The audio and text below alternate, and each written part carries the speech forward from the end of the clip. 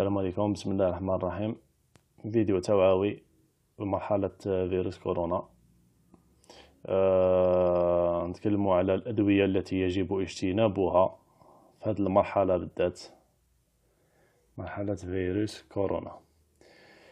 أه الأطباء والأبحاث راهم يوصوا بالاجتناب المضادات الالتهاب لي انفلاماتوار.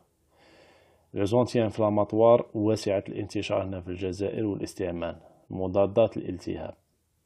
على سبيل المثال كاين هدايا جزيدول للكبار وما شابهه.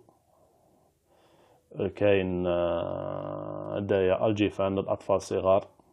الجيفان كما راكم تشوفوا فيه l'ibuprofène l'ibuprofène غير موصى به في هذه المرحلة بالذات. ربي يعافينا ويعافيكم إن شاء الله.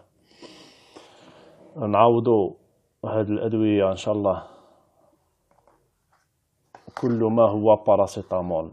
الأطباء راهم يوصوا باستعمال إلا الباراسيتامول.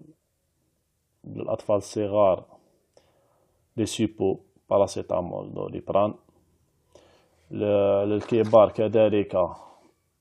يستحسن استعمال دوليك أو دوليبران بصفة عامة باراسيتامول.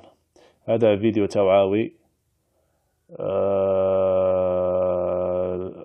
ولازم استشارة الطبيب. وربي يعافينا ويعافيكم إن شاء الله. ربي يعافينا ويعافيكم إن شاء الله. وان شاء الله بلادنا تجوز عليها المحنة بسلام إن شاء الله يا ربي. والسلام عليكم. وبارطاجيو لو ماكسيموم فيديو باش تعم الفائدة على الجميع.